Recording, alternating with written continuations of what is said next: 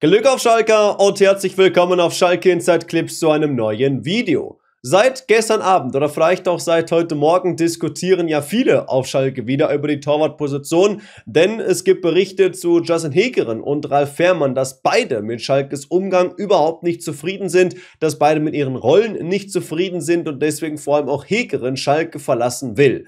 Es ist zudem von einem gewissen Wechselverbot die Rede und somit gibt es mal wieder Torwartdiskussion ohne Ende auf Schalke und deswegen muss ich hier auf Schalke Inside Clips auch genau über das Thema nochmal ausführlicher sprechen. Wir schauen auf die beiden Personalien, was ist da eigentlich los? Warum gibt es einmal auch Diskussionen um Justin Hekeren? Was ist eigentlich Schalkes Gedankengang auf der Torwartposition und was wäre vielleicht auch das Beste aus meiner Wahrnehmung für Schalke, um hier vernünftige Lösungen zu finden? Also, rein geht's in das Thema und meine Meinung zu Justin Hekeren und Ralf Fährmann werden beide Schalke verlassen.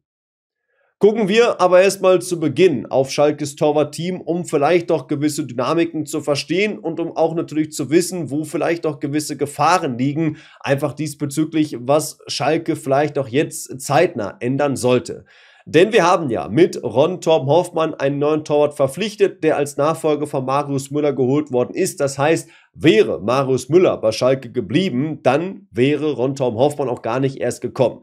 Ist auf jeden Fall schon mal eine ganz gute und wichtige Randnotiz, vor allem für das Thema Justin Hekeren, denn Torben Hoffmann war ja auch bei Braunschweig die nominelle Nummer 1. Das heißt, holst du dir einen wie Hoffmann zu Schalke, dann ist auch klar, dass er spielen will und deswegen ist er ja auch als neue Nummer 1 eingeplant.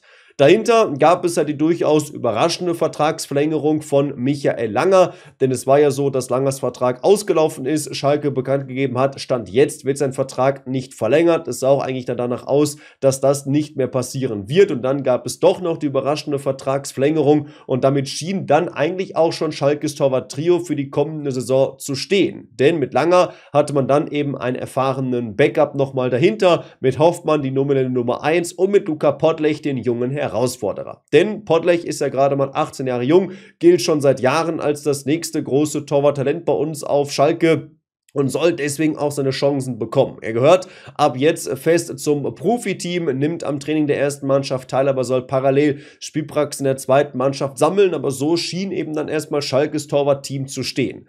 Allein deswegen war natürlich klar, hat Ralf Fährmann bei Schalke keine Zukunft mehr. Er wurde außerdem, dem wurde schon vor Wochen mitgeteilt, wir planen nicht mehr mit dir. Das Problem bei Fährmann ist aber, sein Vertrag läuft noch ein weiteres Jahr. Er ist einer von Schalkes Top-Verdienern und deswegen ist es natürlich auch schwer, dort eine endgültige Lösung zu finden. Vorerst ist er ja bei der U23.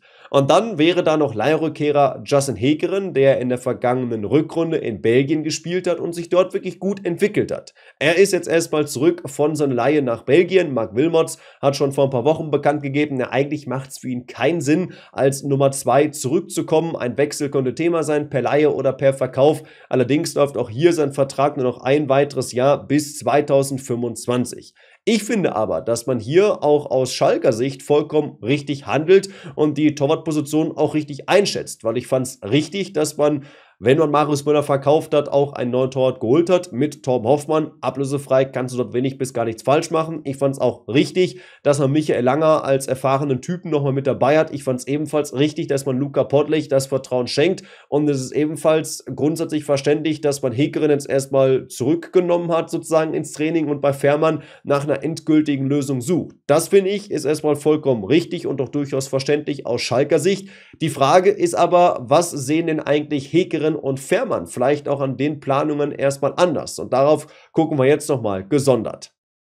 Legen wir dafür los mit Justin Hegerin, weil ich finde, dass diese Personalie in mir selber nochmal mehr und mehr für Diskussionsstoff sorgt. Denn Justin Hegerin spielt ja seit 2022 für Schalke. Er ist damals von Rot-Weiß Oberhausen zu uns gewechselt und galt als ja, Torwart der Zukunft. Es war da schon so, dass man Schalke intern auf jeden Fall große Stücke an Hegerin gehalten hat. Allein schon Thomas Reis hatte immer wieder das Gedankenspiel gehabt, okay, vielleicht könnte er Schalkes Nummer 1 werden, aber es hat eben da noch nie so wirklich gereicht.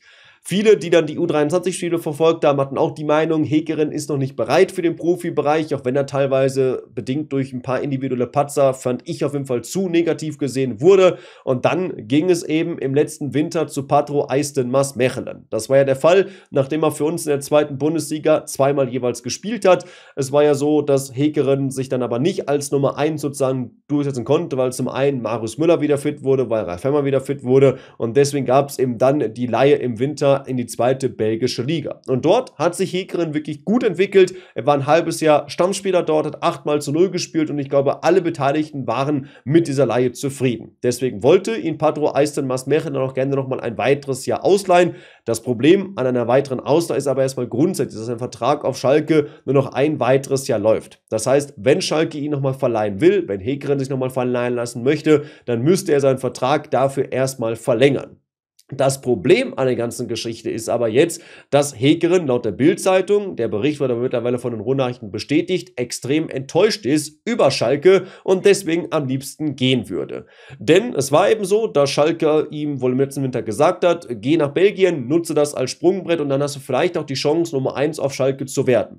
Das kann natürlich sein, dass man ihm diese Perspektive gegeben hat. Da muss man aber auch dazu sagen, dass natürlich auch da zwar schon Mark Wilmots unter anderem als Sportverantwortlicher mit dabei war, aber natürlich jetzt auch Ben Manga in Sachen Kaderplanung erst recht so ein bisschen das Sagen hat, aber natürlich auch auf der anderen Seite sich auch mal Torwartpläne ändern und man natürlich jetzt nicht aus Hekerens Sicht davon ausgehen sollte, direkt die Nummer 1 zu werden, wenn man ein halbes Jahr in der zweiten belgischen Liga gut performt. Denn, und ich finde, das ist auch ein ganz, ganz wichtiges Thema, Klar hätte man sagen können, Marius Müller geht und Justin Hekerin planen wir dann als neue Nummer 1 ein, aber der Abgang von Müller war ja gar nicht mal zwingend eingeplant. Das heißt, Hegerin hätte auch gar nicht zwingend enttäuscht sein können, wenn Müller hätte verlängern können. Also dann hätte man ja auch nicht sagen können, ja, jetzt bin ich aber enttäuscht, dass Schalke mit ihm verlängert. Das wäre vollkommen verständlich gewesen nach der Saison. Und jetzt hat man sich eben einen Ersatz für Marius Müller geholt mit Tom Hoffmann. Der ist als Stammtorwart eingeplant.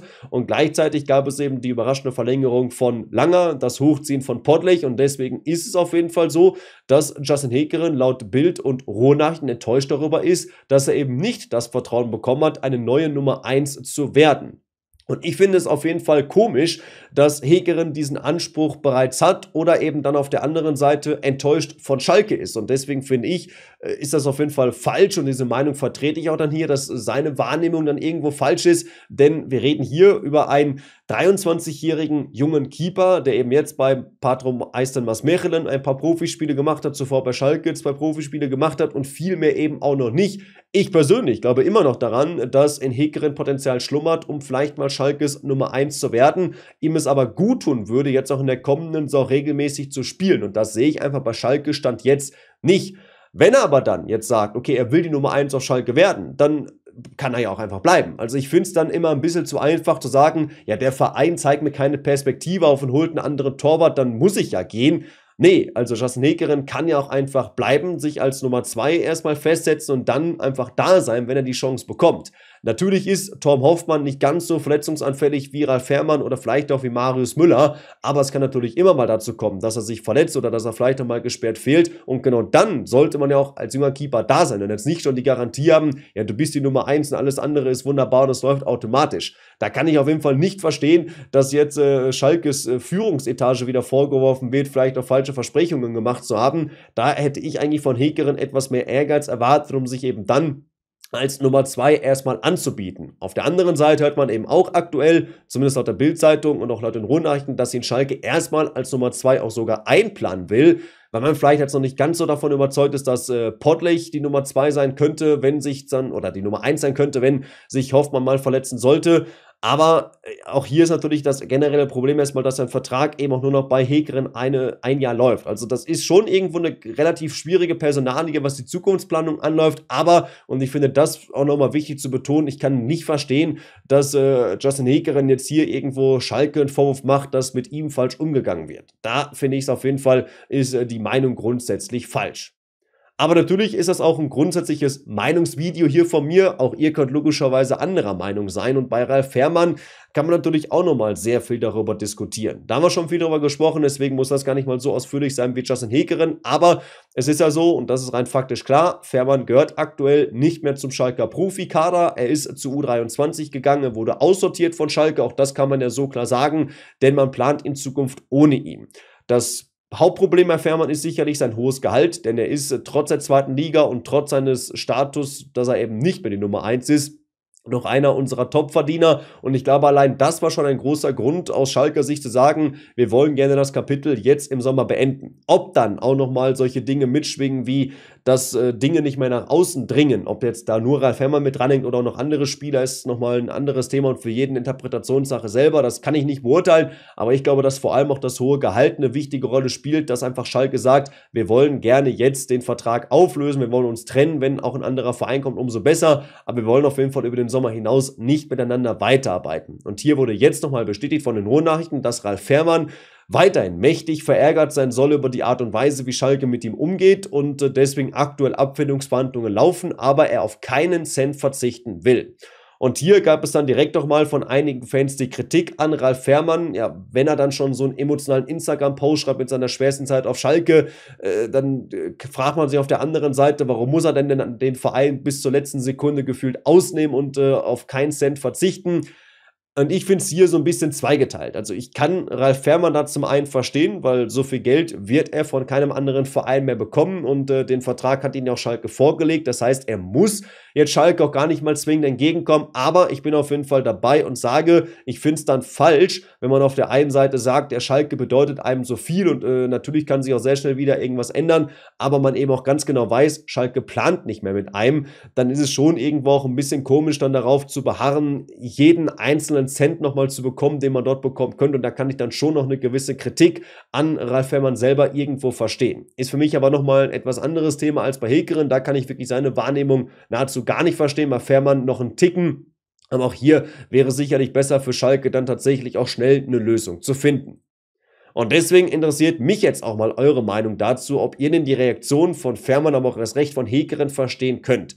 Mein Wunschszenario, um das abschließend nochmal klar zu machen, wäre es auf jeden Fall jetzt, dass man den Vertrag mit Ralf Fährmann zeitnah auflösen kann, damit es nicht noch mehr eine Schlammschlacht wird, die ihm nicht gut tun würde, die Schalke nicht gut tun würde. Da gibt es am Ende nur Verlierer, dass man sich vielleicht äh, finanziell gesehen ein Ticken entgegenkommen, dass Schalke vielleicht ein bisschen weniger bezahlen muss, als wenn Fährmann jetzt noch ein Jahr für uns spielt. Und äh, bei Hekerin würde ich mir auf jeden Fall wünschen, dass er einen anderen Club für sich findet. Das ist aber auch schon meine Meinung seit einigen Wochen, weil ich sehe Hekerin einfach nicht als Nummer zwei. Ich habe zwar das Szenario beschrieben, er kann sich ja selber damit behaupten, um dann vielleicht auch Hoffmann Druck zu machen und dann da zu sein, wenn er vielleicht noch mal verletzt ist oder gesperrt ist.